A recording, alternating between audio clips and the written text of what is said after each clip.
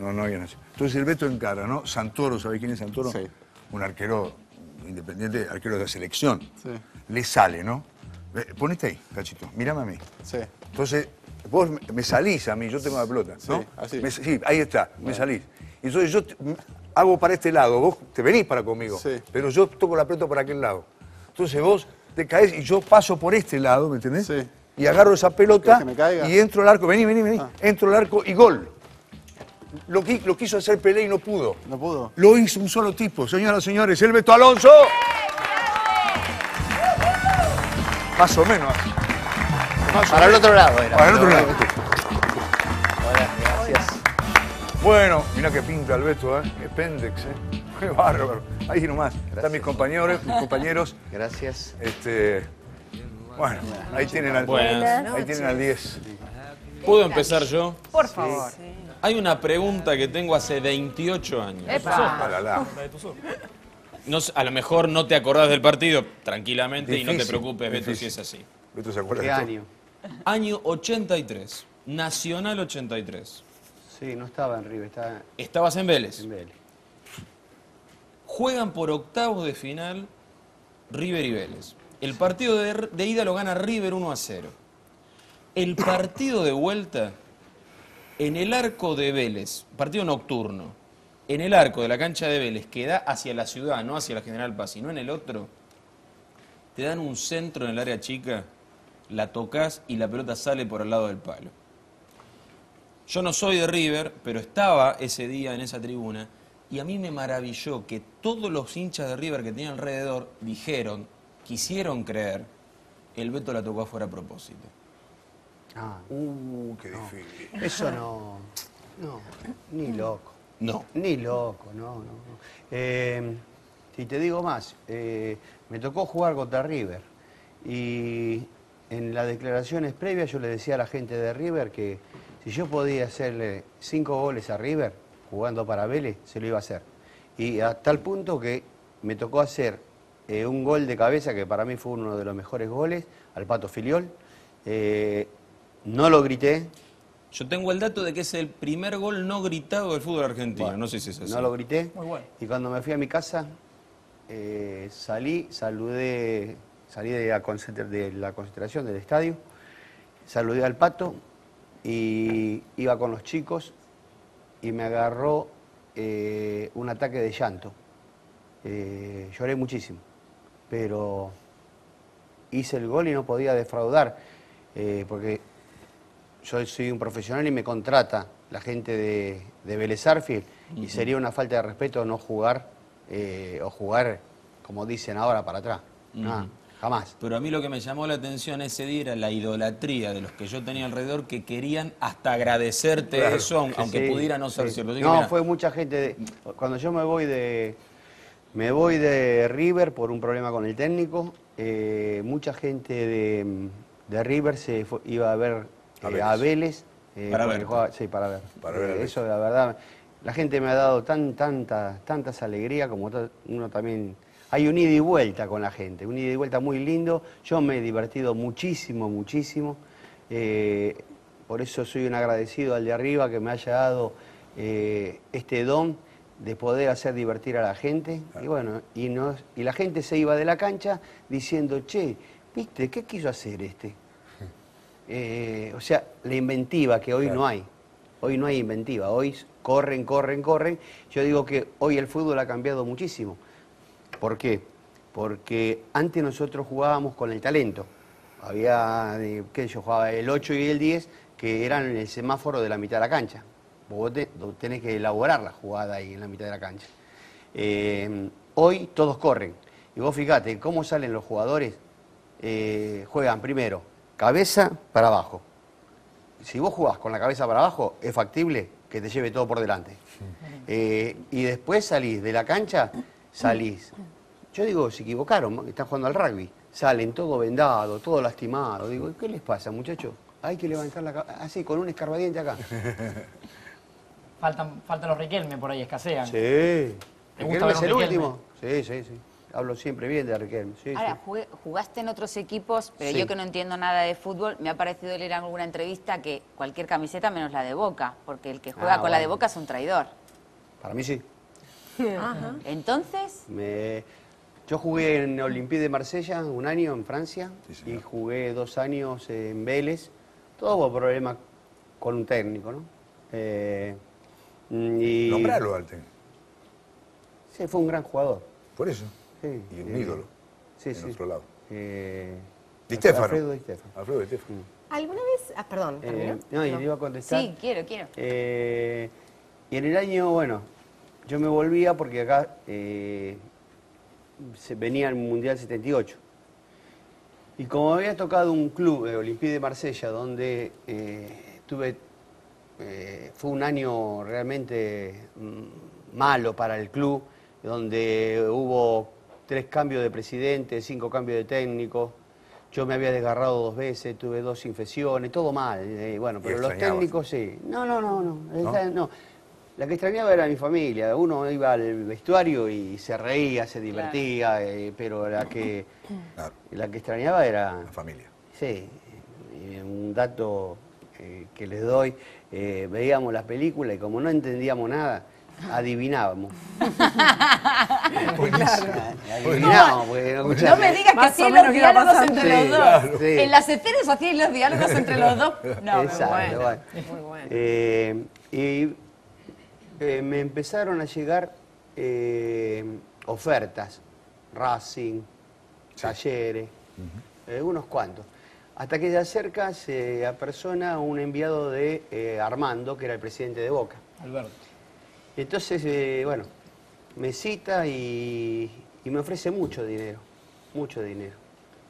Y yo le, termi- le termino contestando, la verdad le agradezco muchísimo, pero si yo llego a ponerme la camiseta de Boca, me estoy traicionando yo y estoy traicionando a la gente de arriba.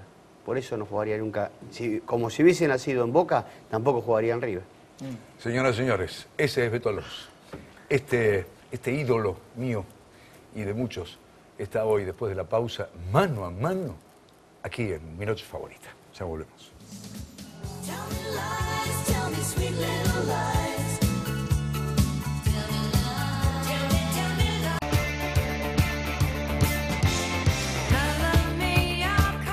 Caso, caso raro. Esa zurda, la del reloj, esa zurda no sirve para nada. Caso raro. Sin embargo, la zurda de la pierna, del pie, es la que sirve para todo. ¿Así naciste? ¿Así fue? ¿Derecho arriba, zurdo abajo? No, mi viejo, mi viejo fue un monstruo, un monstruo. Él quería tener, sin meternos presión ni nada, él quería que uno de los, de los varones sea futbolista. Y bueno, eh, cuando empecé a caminar, me apoyaba sobre la pierna derecha y me ponía una pelota al lado. ¿Y yo qué tenía que hacer? No podía, si no podía patear con la derecha, porque me la tenía casi atada. Entonces me, ha- me hacía eh, que esté la, pierna izquierda en el aire y le daba con la zurda, le daba con la zurda. Y después le fuimos preguntando, ¿por qué? Y dice, porque los zurdos son más vistosos en el fútbol. Después hizo otras cosas. ¿Jugaba al fútbol? Sí, jugaba y por una lesión, eh, un bochín que estaba jugando a las bochas, era un bochín, le dio en la rodilla y viste, las operaciones de antes no eran No, como ahora. Entonces, eh, después, eh, cosas que hacía mi viejo, era cosas que, que realmente era un sabio. Eh, esperaba que mi vieja, nosotros vivíamos en los polvorines, y esperaba que mi vieja se seque la ropa para eh, el tendedero eh, pueda colgar un hilito con un bollito de, de papeles y teníamos que saltar a cabecear. Saltaba a Carlos, que era el mayor, saltaba a Hugo, y yo que era muy competitivo, le quería ganar a mis hermanos El menor, vos. yo el menor. Y saltaba y entonces le metía toda la, viste que le, querés- eh, querés ganar, competís, competía siempre. Era un tipo de, eh, que me gustaba competir. Y bueno, y Cuando- así apareció el Alonso cabeceador. Cuando el viejo te desató a la derecha, ya, ya eras prácticamente zurdo. Zurdo, ¿verdad? sí, sí, sí. Soy ya zurdo. Y con la- Zurdo, jugaba con los grandes. eh, mi viejo me sacaba de los potreros. eh, no quería que me peguen una patada y ese tipo de cosas, me cuidaba. Pero yo me escapaba, me escapaba y imagínate, eh, salía, eh, entraba al colegio a las 8, eh, salía a las 12, comíamos un poquito lo que, lo que había, que yo, puchero, lo que sea, hacía la vieja y mm, rápido ya a la calle. Estaba 10 horas en la calle, en el momento donde se podía estar en la calle Sí, en los polvorines estamos en hablando. los polvorines. Eh, había todo, había menos casa que. Claro. eh, entonces, había muchas, muchas canchas donde la recorrí tanto, qué sé yo, de Nogués, eh, Don Torcuato, eh, Boulogne, Munro, eh, Villa, de, Villa de Lina, eh, San Miguel. eh, en donde había un campeonato, ahí estábamos. ¿Los tres hermanos jugaron? ¿Empezaron jugando la pelota? ¿O el viejo ya sabía que el jugador de fútbol era el más chico? No, no, no, jugaban bien, jugaban bien. ¿Sí? Eh, no tuvieron la suerte de, de- pues tenían que trabajar y, y bueno, lamentablemente no pudieron, llegar. Eh, Hugo justo cuando falleció hace poco, eh, Hugo eh, había entrado en River y justo como mi papá es sastre, eh, se puso, se llevó un alfiler a la boca, iba a entrenamiento, y subió una chica con una torta. Ah, las cosas que pasan en la vida, ¿no? Y le dice, qué rica, y se tragó el alfiler. Y los médicos apurados, porque estaban los practicantes, lo operaron enseguida. Mi tío era médico, le dijo, no lo toquen en el francés. No lo toquen ah, porque eso se puede, lo puede despedir. Bueno, lo habían operado, le metieron 20 puntos eh, en la panza y después le quedaron los intestinos pegados, otros 20 puntos más y ya no, no pudo jugar más. Eh, jugaba bien, jugaba muy bien. ¿Y vos cuándo, cuándo y cómo llegas arriba? Yo llego a River, eh, vine a jugar, un, eh, el señor Carlos Palomino te- traía un equipo Carlos Gardel. Eh, y yo jugaba con un pompón, viste, como el que juega Teve. Sí. bueno. Y le pregunta a este hombre, eh, le dice a mi padre, eh, ¿qué edad tiene ese chico? Y le dice, nueve años. Y dice, ¿me puede mostrar el documento? No le creía. Y no porque, viste, sacaba ventaja. Entonces, viste que a veces hay, hay cosas que de repente te, te juegan pibes de 11 años y te dicen que, que tienen, o te dicen que tienen 9 y, y tienen 11. Y le mostró el documento. Dice, bueno, dice, eh, ¿no le gustaría eh, ir a River sin pruebas, sin nada, el sábado a las 10 de la mañana en la cancha auxiliar? Bueno, dice, mi padre dice, mira lo que hacían, no como los padres de ahora. ¿eh? Le, le voy a preguntar a Beto, si él quiere ir, le pregunto. Bueno, y fuimos caminando cuando terminó el torneo este. Nosotros vivíamos a 10 cuadras de ahí, del barrio Textil. Y me pregunta, mirá, me habló un hombre y me dijo si quería ir a jugar a River. Yo le dije, sí, le digo, si ir a jugar al fútbol, sí. Claro. A la pelota, sí. Bueno, desde ese día, sábado, a las 10 de la mañana, mi, mi viejo era hincha de Racing. Eh, por motus propio pude elegir el club más grande que conocí en mi vida, el Club Atlético River Plate. De ahí, toda mi carrera. Imagínate que tengo 50 años de club, en 110 años de historia. ¿Vos sentías en la cancha eh, esta vibración que nosotros teníamos cada vez que vos, Sí. inspirado, Sí, te, sí. te acordás del Monumental, lo que era? ¿Eh? Porque era una vibración, ya no era ni el grito, ni el aplauso, era una vibración. Claro, porque que vos cuando, a ver, cuando la gente te empieza a conocer cómo jugás, ya te empieza a exigir. Y vos te empezás, vos, yo que era competitivo, me exigía yo también. Bueno, tuvimos, eh, eh, de repente, de la juventud, que yo debuto a los 17 años en el Chaco, me lleva el maestro Didi. Eh, debuto a los 17 años. y- Año. ¿eh? ¿Qué año era? año 70. Eh, y de ahí en más, después en el 72 ya jugué, empecé a jugar, eh, reemplazaba al Mono Más y empecé a jugar el Metropolitano y se dio un partido que se dio un, un partidazo, ¿no? Eh, ganábamos, eh, per- ganábamos 2 a 0 con dos, eh, el Mono jugó y yo jugué de 10, el Mono jugó de 11. Eh, ganamos 2 a 0 con dos goles del Mono más. Perdíamos 3 a 2. Tuve la suerte de haber jugado en contra de. En contra, digo, porque para mí era un jugador con un talento impresionante, Hermindo Nega. Chapó, apagó el ronco. chapó. Y bueno, nos hace el tercer gol Hermindo, jugando para Vélez. Perde- íbamos perdiendo 3 a 2. Y faltando 25 minutos, convierto tres goles. ¿Cómo tres Uno- goles? Sí. Uno de cabeza, un córner que viene de izquierda a derecha, el arco de... ah, Colgaban los papelitos eh, que había puesto el viejo. sí, no, pero no fue de palomita. Ah, abajo. Abajo. Eh, el otro tira una palé con JJ, me la llevo de taco por arriba de un defensor y me hace penal el caballero. Y el tercero, sale caballero, entra otro arquero que se llama Pesano. Qué memoria tiene. este- eh, y si yo, escúchame, amé esto. Está bien, está bien, está bien. No te quiero interrumpir. Entonces entra Pesano. Entra Pesano, se empieza a acomodar los guantes, tiro libre para nosotros. Arco de la Figueroa corta y le mete un chanfle y le acaba un ángulo. Ganamos 5 a 3. Así empezó el campeonato. Y así empezaste vos prácticamente tu carrera. Sí, sí. Ya había empezado ya en, en el Chaco con el maestro Didi porque había sido. No entendía nada, yo estaba en la sexta división. Y yo iba.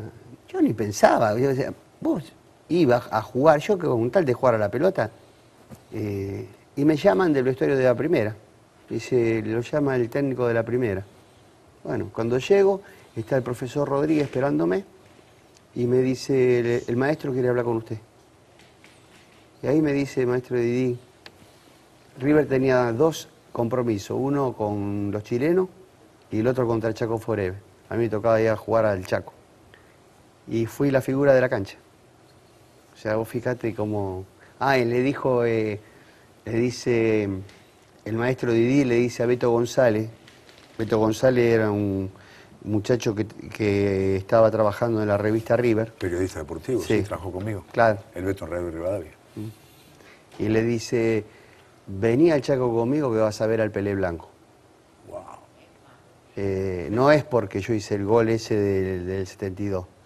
Ahí el maestro de Díaz decía que y me tenía, un- o sea, como miraba todas las divisiones inferiores, me tenía conceptuado como ya un jugador. eh, y él había jugado en el año 58 con el Negro Pelé. O Sí, sea, claro. claro.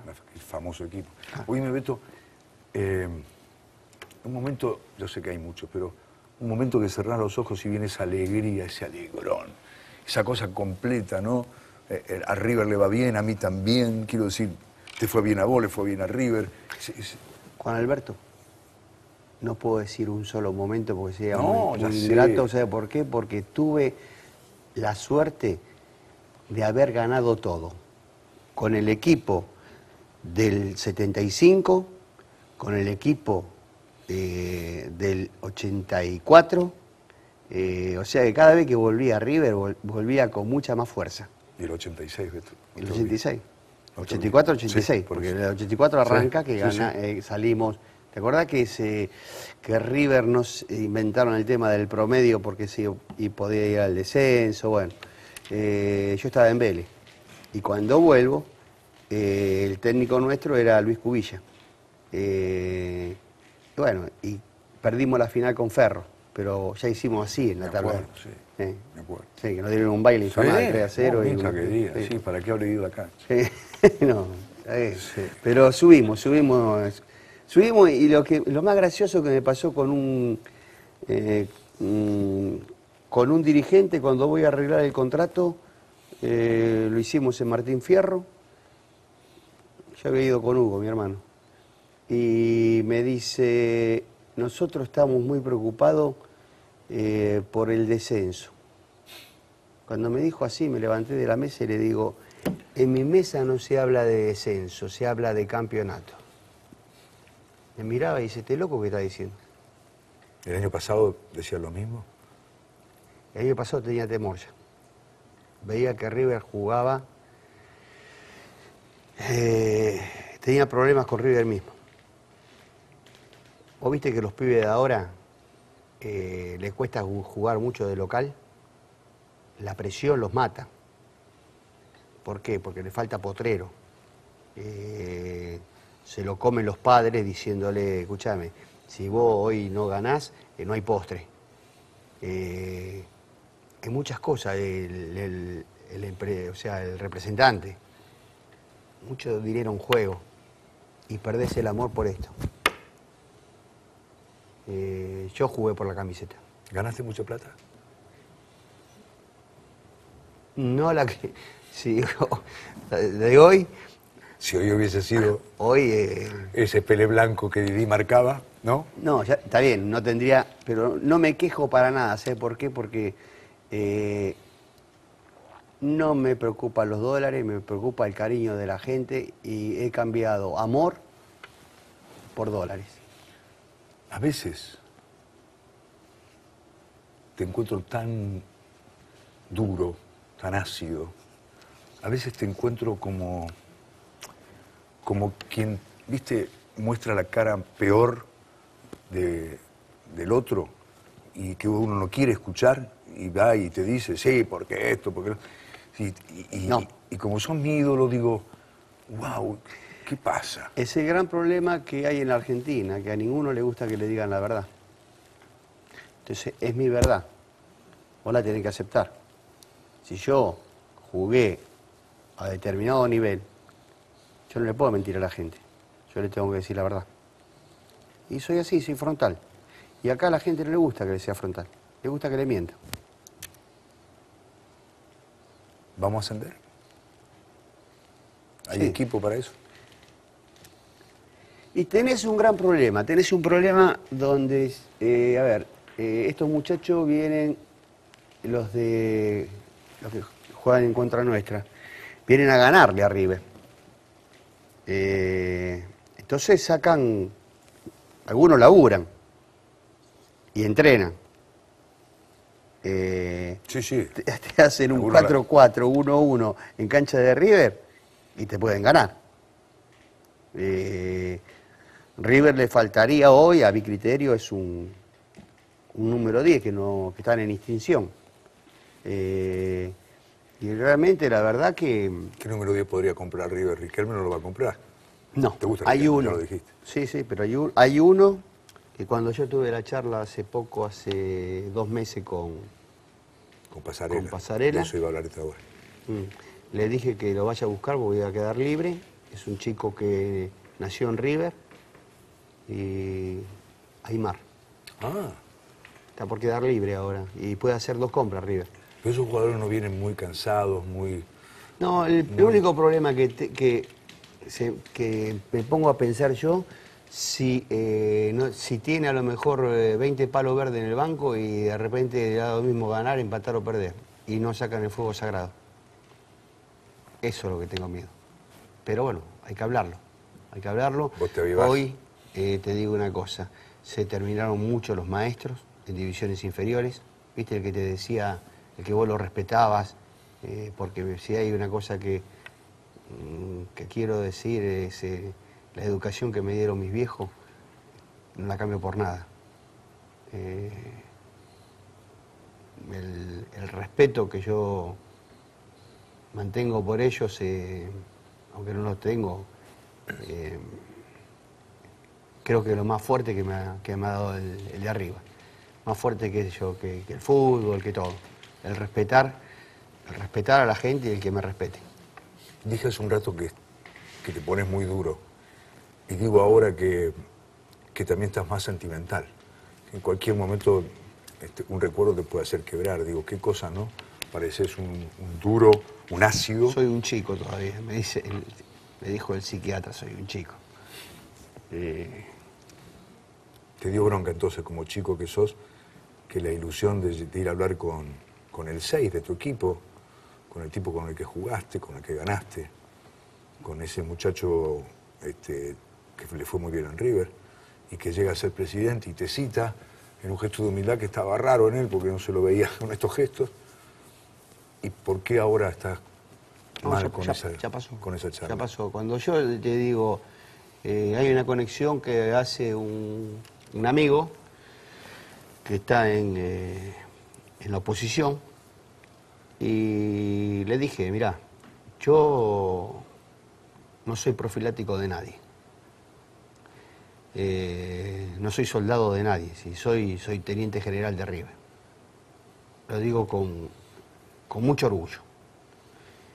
Eh, si no me llamó hasta si no me llama hasta tal día, él me dijo, espera este, día, que fue el día de la asamblea, de otro día.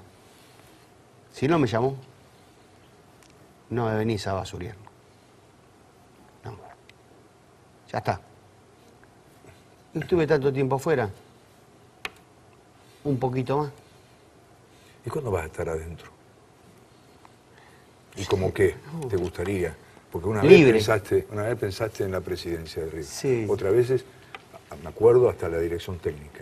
Sí, y sigo el- pensando en la presidencia. ¿eh? Ahora me, estoy, muy enojado. Estoy pensando en la presidencia. Pero viste cómo están los clubes y qué, Sí. qué cosa política. No, no, pero bueno, tenés que armar con un equipo de gente. Ahora, si vos querés manejarlo solo el club, es imposible. Yo el club lo conozco, estoy desde los, te dije, desde los nueve años. Conozco. Eh, solamente tenés que armar, armarte de gente eh, que en la parte economía uno no lo tiene tan claro. Eh, tenés que armar cada uno en, la- en el área que sabe cada uno. ¿Y vos de qué Y tenés- sabes? Y tenés que escuchar. ¿Vos de qué sabes? Yo creo saber de fútbol. Eh, por eso eh, el año el año cuando estuvo Aguilar y, y Mario Israel, yo veía todos los partidos y decía, escuchame una cosa, eh, Mario, eh, comprá, ¿a quién vas a comprar?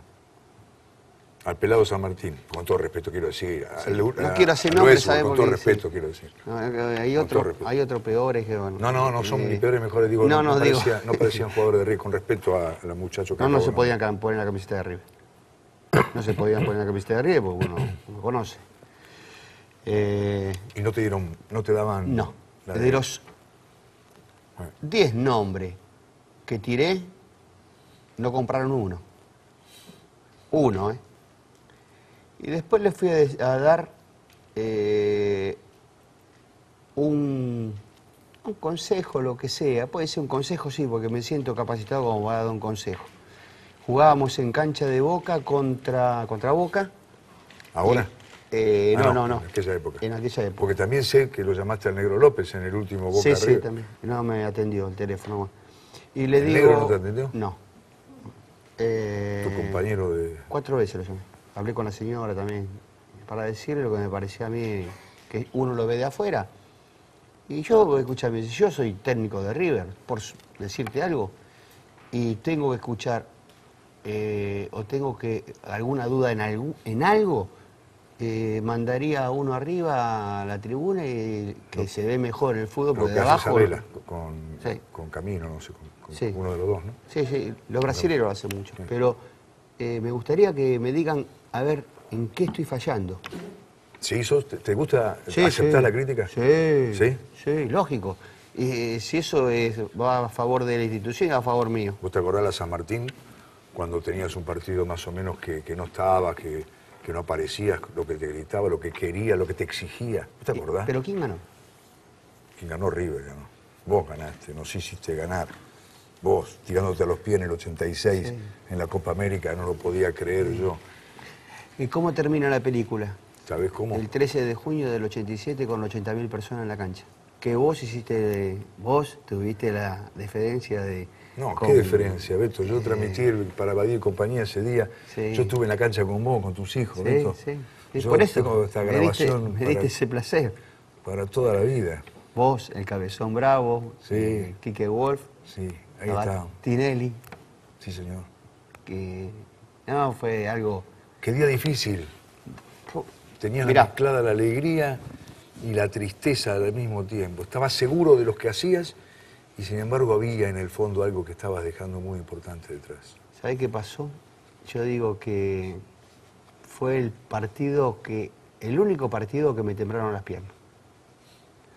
Eh, mira que fui a la cancha de Boca, dimos la vuelta olímpica, eh, hice los dos goles, eh, fue la tarde soñada para todos los riverplatenses.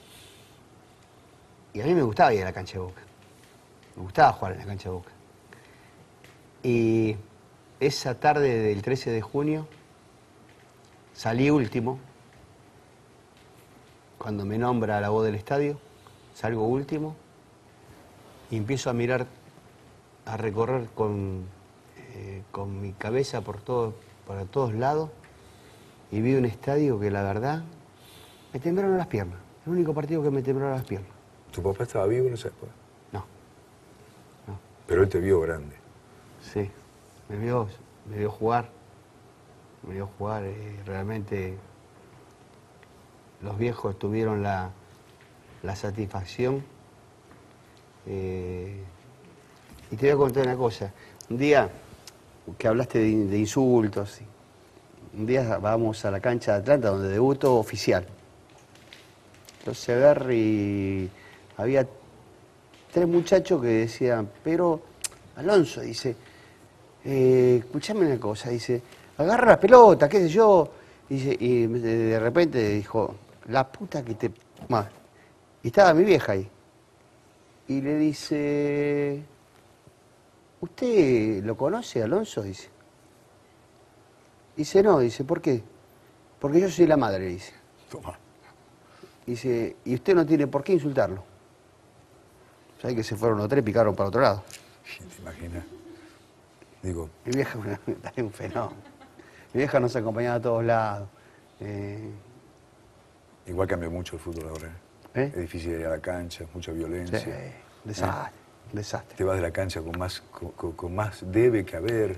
Desastre. Es, es- es difícil enganchar un buen partido que te vayas contento, con un buen jugador que te haga, que te haga Que te feliz. arranca, sí. ¿no? Eh, Es difícil. Por eso hay que verlo por la televisión. ¿Te gusta Messi, supongo? Sí, me gusta Messi.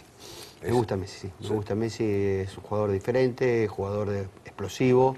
Nómbrame 10 jugadores diferentes con los cuales hayas visto, hayas convivido. 10 jugadores Ah, argentino. Sí, eh, o de todo. lo que quieras. De estos 10 Eh, jugadores bueno, diferentes. 10 jugadores. eh, Pelé, No arrancaste por el Diego, te aviso. ¿cómo? Que no arrancaste por el Diego. Pelé, Bueno, bien, Pelé. ganó cinco títulos, hizo mil y pico goles. por Pelé, listo. Eh, eh, Diego, Cruyff, eh, bueno, voy a hablar de Bocha, eh, que lo quiero mucho, porque competíamos antes, ¿viste? Jugaba Independiente y River, a ver quién la rompía. No, es que era esos partidos maravillosos. Eh, vos jugabas contra el 10 de ellos. Sí, no, una cosa. Una cosa- y salían partidos sí, memorables. impresionantes, impresionantes porque había fútbol. Te faltan jugadores todavía. Sí. Me faltan, me faltan. Eh, Riquelme, eh, a Messi lo nombré. Sí. Eh, Hay uno que me extraña en un nombre, pero por ahí no, no te parece diferente. ¿Quién, Platini? En River, no, no, River, River. ¿En River? River. ¿10? Sí, 10, 9. Ah, no. 10 es una cosa, 9 es otra. Bueno, jugador distinto, puede ser, te dije jugador distinto, no te dije el número que tenía que ponerse en la camiseta. ¿El que lo hice comprar yo? No sé, Beto, yo te Francescoli. Sí. Lo hice comprar yo. ¿Lo nombramos entre los 10, no? Sí, Ah, sí. Flaco, buen jugador. Y si lo hice comprar porque lo veía buen jugador. Eh, es un el jugador. negro JJ. mm. Eh, Mira cómo podés separar las cosas, ¿eh? Estás con bronca con él, no, ¿Qué tiene que ver? pero ¿qué tiene que ver? ¿Sidán? No me gustaba mucho. No. No. No, no. Ni Zidane ni- ni Xavi, Platini. Iniesta, Iniesta, ¿son diferentes? Son estos jugadores, digo que... Eh, son diferentes para el fútbol moderno. Eh, es difícil sacarle la pelota. Eh, ¿Por qué? Porque en Europa, vos fíjate que en Europa te marcan, van mirando más la pelota que al jugador. Y vos fíjate por qué vienen las fallas acá de que Messi no, no pega el, el salto que tiene que pegar. Porque acá te marcan diferente. Te marcan las piernas. Te marcan diferente. O sea, son más bichos acá para marcarte. Mm. En Latinoamérica. Está por llegar la, la Navidad, ¿no? Eh, ¿Reunís en la familia en mesa o está cada uno por su lado ahora que están crecidos? Y están creciendo y ellos hacen lo que... A veces me llaman, me llaman, a veces no me llaman, a veces... No, me, quieren, me quieren mucho. Mis hijos me quieren mucho, mis nietos. eh, ah. Em, bueno, la paso bien. ¿Sí? La paso bien, sí, sí, la paso bien. Eh, ¿Alguna vez pensaste en aquello que algunos dicen, ¿no? Soy tan gallina, soy tan de River, que si me pasa no algo... soy ya- gallina, yo soy de River. Tenés razón. Me pasa que yo el mote me lo hice propio, No me gusta. te lo respeto. Gallina pone los huevos. Hemos puesto unos cuantos, con pelota naranja, no importa. Uy, la pelota naranja, la que la fue a buscar Gatti a Adidas. Adidas. Sí, porque El- para, para ver mejor por los papelitos. Sí, porque él jugó en Rusia con la selección nacional Sí. y jugaron sobre la nieve y no se veía prácticamente y jugaron con una pelota de un color naranja. Entonces fue el día martes a buscarla a Adidas y habló con Héctor Querido y le dice, che, ¿sabés que se va a jugar con pelota naranja el domingo? Yo voy el miércoles, ¿no? Digo, ¿con pelota naranja? Le digo. Bueno, yo asocié esto eh, con el partido de Rusia. Y, se- y le digo, ¿por qué? ¿Qué te dijo? Y por los papelitos que no se va a ver. Le digo, igual no la va a ver, le digo. Así jodiendo, ¿no? Igual no la va a ver.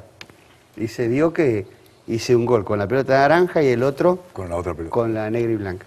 Eh, decía, Me jugué la vida, ¿eh? nos jugamos. Ese plantel, y aquí aprovecho esto para mandarle un saludo, porque se va a cumplir 25 años de la única Copa del Mundo que tenemos, mandarle un gran saludo a todos mis ex compañeros, eh, decirle que los quiero mucho, que los quiero mucho porque eh, mm, vos sabés que yo era uno de los líderes por tantos años de River, bueno, eh, y ellos querían, por, querían por sobre todas las cosas que nosotros seamos campeones. ¿Te acordás que fuimos a la Copa América? Eh, eh, le ganamos, le ganamos los dos partidos a la América de Cali. Los dos partidos le ganamos. Bufalito y toda su gente. ¿Eh? Sí, estuve allá, todo allá. Sí. Eh, Viajamos juntos, ¿te acordás? Me concentré con ustedes. Sí, me acuerdo todo. Eh, y les quiero. Y ellos querían que yo saliera campeón. Más que, más que River, más que. Mirá. que querían que. eh, Qué generosidad, el- ¿no? Sí. Qué Por eso quiero decirles, muchachos, gracias, los quiero. Y bueno, ya nos vamos a ver, a lo mejor el 25, que eh, creo que van a hacer una fiesta. Estábamos en la pausa y me empezaste a contar una cosa y Hernán Patrone dijo aire. Y lo que me empezabas a contar tenía que ver, me dijiste, ¿sabés que el día que Dios decida? Y no, y no seguiste contándome porque empezamos al aire. Eh, ¿Te lo puedo preguntar al aire o, o esta era una pregunta íntima? Íntima, pero parece que mm, parecería un loco yo, ¿no? O un- me mira, la gente me mira, algunos, los grandes me entienden. Eh, los jóvenes no, a lo mejor. Que cuando se acerque el día de que parta de este mundo, eh, lo único que deseo, y a veces cuando hay deseos ahí se hace realidad, que quiero que me vengan a buscar mi papá y mi mamá, que vengan a buscar de la mano y que lo pueda ver por última vez, aunque sea. Nos vamos con esta imagen, Beto, que da alegría, como alegría te dan tus viejos y tus recuerdos. Gracias, maestro, gracias, ídolo. Señoras y Te señores, quiero mucho. la puso para verla, el lindo loco Gatti, y no la vio.